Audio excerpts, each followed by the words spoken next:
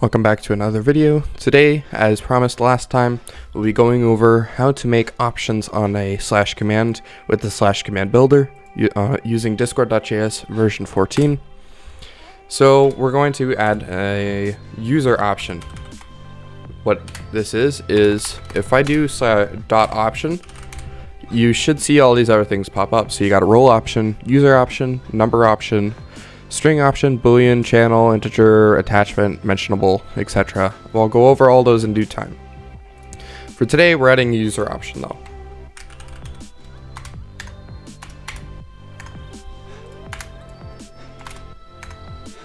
And I like to indent, which is what it's called when you use tab.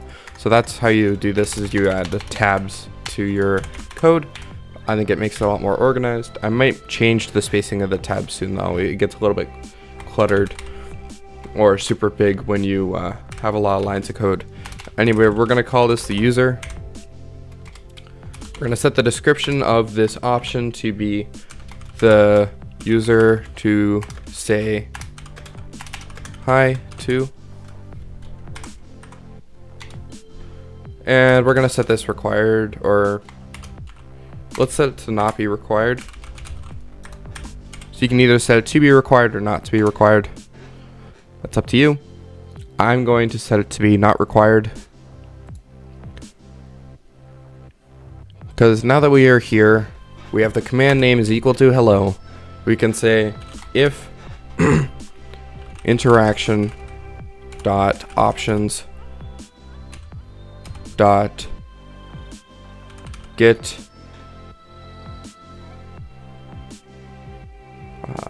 user. We're going to call it user. Same thing as up here. Actually, let's just try and fetch it right here.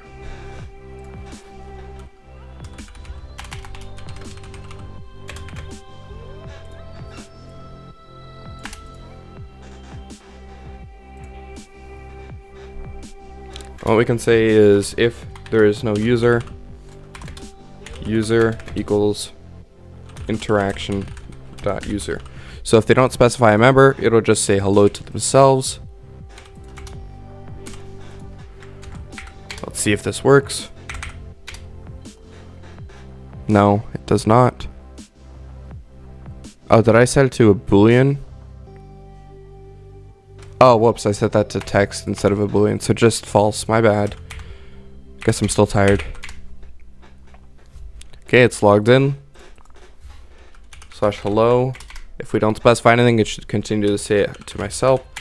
Hello, we're to add a user option. We're to make it say hello to itself. Hello, tutorial bot. So I guess it worked. Pretty simple. Another thing we can do to make it even simpler is we can just make it so that if for whatever reason it can't get the user from the interaction, then it's going to just grab the user, which is whoever sent the interaction. And we can change this to const because after this line of code, we're not going to change it ever again. These two signs equals an or. It's uh, right next to the backslash, you just got to use shift. And then two of them, that represents or. So if this doesn't end up working, then you can use this instead. All right. This should work still. We do hello. It should respond with hello golden dev. And then we do hello. We're going to specify the user. We're going to set it back to tutorial bot. Hello tutorial bot. Super simple. That's how you use a user option. Now we can say, let's uh, make an echo command, I guess you can say. Echo equals new slash command builder, echo repeats, repeats what you say,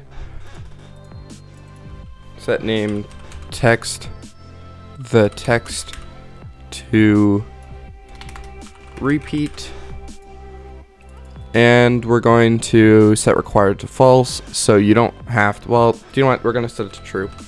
So you have to put in some text to echo. And now if we register this here,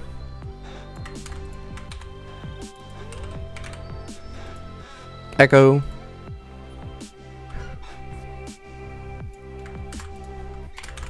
Now if the command name equals echo,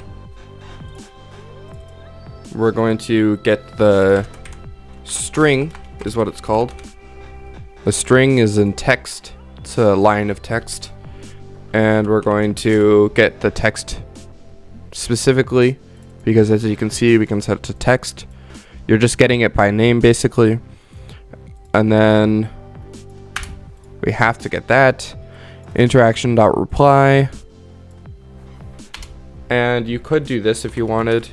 You could say text.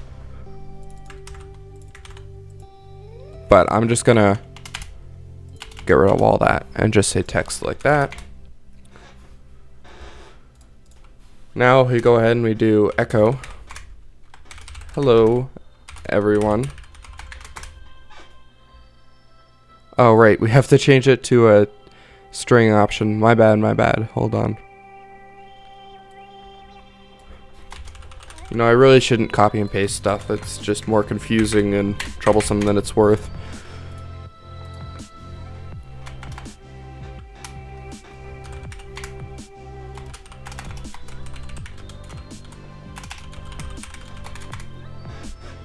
Hello, everyone. There you go. We use the echo command. Alright. So now you can get options from a user using the slash commands, and then you can respond accordingly. I think that's probably going to be it for this episode. Uh, what can we do next episode? I suppose we're getting close to needing to make a dynamic command handler. And as I mentioned earlier on in the series, and probably earlier this video as well, I can't remember if I did, because I'm recording most of these videos at the same time. Um, it's really annoying and takes a long time to repeat this line of code over and over again, and it gets really cluttered here in the index.js file.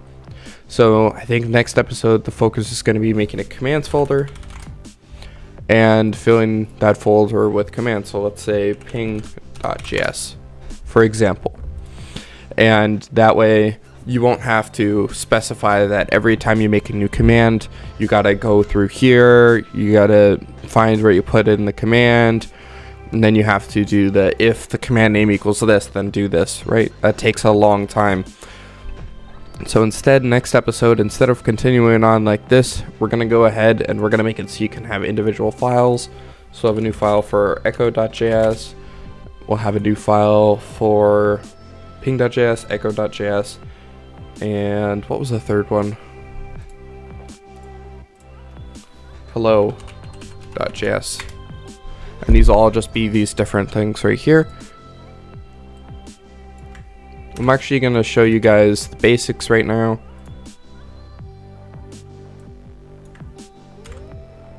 This is going to go into Echo. And this is going to go into ping. And yeah. I think that's it for this episode. I gotta go now. Um, we're going to be going over how to make this work next episode. So that every time you make a new command, all you gotta do is make a file in the commands folder. And it'll automatically register the command and do all that other stuff for you. Alright, thanks for watching. I'm gonna go change the uh, token before I forget to before posting the video, and I'll see you guys in the next episode. Like and subscribe. Thanks for watching. Bye for now.